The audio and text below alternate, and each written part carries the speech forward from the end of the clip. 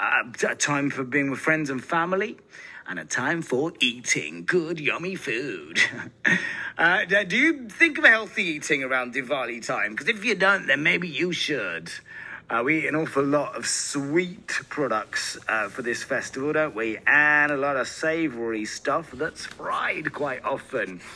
Uh, so, should we focus a bit more on well-being, eating better? Can it be done even at Diwali time? Well, apparently so. So says my next guest, health coach and cook Sujata Din. Now, she not only thinks so and says so, proof in her pudding, uh, or should I say mithai. Uh, she, she has a book out, a short book on healthy Diwali treats and recipes. Uh, so she really does know her stuff. Sujata Din, hello, evening. Hi, Gagan. Thank you so much for having me. A pleasure. Thank you very much for joining me this Sunday. How's your pre Diwali weekend? It's been lovely party, meeting family, friends. Yes, very nice. Hope you're having a good one as well. Yeah, absolutely. What about food? What's cooking at yours this Diwali, Sujata? So it'll be a mix of different things, um, some healthy, some not too healthy, but it's always got to be a balance between the two. Really. Oh, okay. So it's not all about making everything we enjoy healthy necessarily. No, it's it's some things we can make healthy, but some Yeah. things what we can do is to just find, um, you know, alternatives, uh, especially if you want to eat them frequently. So, it, for instance, I love gulab jamun, ras malai. Uh, those are my two favorites. Oh, yeah. And yeah, but to have those in a healthier way, I'm not sure if that they'll taste the same.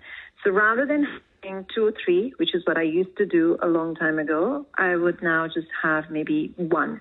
But don't do it, you know, like every day. Just be maybe occasionally that you have it. But if you feel like having something more frequently, like let's say barfi, uh, laddus, those you can make some healthy swaps. And just Really? Can we now? Without we without can. compromising too much of the taste? There will be a bit of a difference in the taste, but Gagan, if you think about why you eat something, Yeah. um, it's normally because you crave a certain texture or a flavor. Okay, yeah, that's fair, yeah. Yeah, right. So let's say let's say if you want to eat barfi, uh, you want something that's cooling, that's sweet, um, you know, and something that maybe has like the, the, the sort of the flavors of cardamom, right, or what like nuts, nutty texture as well.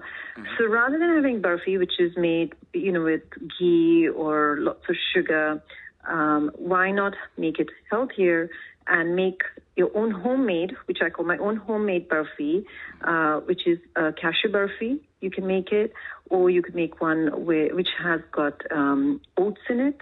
You can make some, because just by adding oats into a recipe, what happens is you're increasing the fiber and you're reducing, you know, the other ingredients by a little bit. So it, it actually makes it more nutritious. And then you reduce the sugar. So if, if for instance, you have your family favorite recipe, right, for gajar halwa or, you know, kheer, and you were to reduce the sugar by 20%, would anybody really notice, given everything you've just eaten in your main meal? Would mm. anybody even really notice that you've reduced the sugar? True. Yeah. So it's making these tweaks rather than thinking, I've got a diet over Diwali. Can I now just make it the way I live my normal life rather than saying, you know, I'm going to like not enjoy Diwali because I'm di- dieting? Okay, yeah, that's a fair point you're making there, and some good examples as well. Healthy cashew nut barfi, healthy halwa. What about the savoury products though? We've focused a little there on the sweet, savoury, fried very often. Um, Very what, are, are there yeah. are there are there healthier versions? What can be done? So there are healthy versions. Uh, you know, instead of deep frying, could you use an air fryer or could you use the oven? And yes, the taste may not be exactly the same, but your waistline will thank you for it. You know, you won't feel lethargic, you won't feel bloated, you won't feel, you know, run down. You don't feel guilty uh, because you're still eating the same food, um, but you've just sort of cooked it slightly differently, right? Um, so that's the savory food. I love bhel right? Grew up, it's like a, you know, sort of the street food, very snacky food. But bhel is made with ingredients that are almost all fried. Uh, so in my recipe, rather than just using only fried ingredients, um, I swap them. I'm adding some chickpeas into it. So it becomes more like a chickpea, you know, chaat. and you add in some vegetables. So it bulks it up, and then you add your chutneys. You add some imli, you add some, you know, um, coriander chutney, or you know, I, I instead of just using coriander, I also use a chutney made with a lot of spinach. So you're getting a lot of vegetables in your chaat without even realizing it. You're getting protein in your chaat without even realizing it. So most people would be like, oh, it tastes really nice because I've got the crunch, you know, I've got that spice, um, and, it, and it's filling me up. So you're not snacking constantly because you're feeling more satisfied. Uh-huh. And and you touched on this briefly there in in your answer. Um, you have some interesting thoughts on not only how a diet affects one physically, but also how it affects people's mental well-being. Let's let's talk a little more about that. Definitely the w- mental well-being, because um, if somebody is going through uh, maybe a health condition like the, and, and in our Asian community, we have a lot of uh, numbers increasing for diabetes, for you know heart disease as well.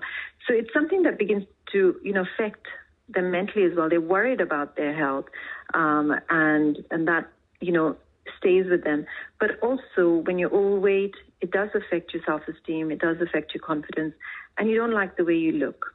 Um, another thing is when we're eating a lot of sugary foods, we get onto this sugar roller coaster, and it's hard to come off this sugar roller coaster. So that affects your moods because one moment you're feeling really happy because you just had, you know, your mithai, and then you come crashing down and you're feeling irritable and low energy, and then you're reaching for something else. So you know, it affects your moods. Um, so, so it's like the weight, the health conditions, you know, many of these factors combine together to affect uh, mental health. Sujata, tell us more about your book and, and the title of it, where we can get hold of these healthier versions. So, uh, my book is um, called uh, Sujata's Healthy Treats, uh, Diwali Treats Recipe Book. You can go to my website, which is uh, sujatadin.com forward slash Diwali and you can get the book there. Uh, one of the things I wanted to make sure with this recipe book is that it is, um, you know, using everyday ingredients that we can buy on our high street. I wanted it to also have um, ingredients that are affordable as well. And most importantly, I've kept the recipe book also super affordable at uh, just five pounds. So everybody can afford it. Because you mentioned earlier, you know, are you going to, uh, you know, to your to your listeners, are you going to be making? Are you buying it? Yeah. You know, is it is it affecting your pockets? Mm-hmm. Um, so make your own mithai. It costs you a fraction of the price you're buying it for, and actually, it's more personalized. Your your family, your friends will appreciate it that much more. You're absolutely right. Sujata Din, thank you so much for speaking with me tonight, and happy Diwali to you. Enjoy the food.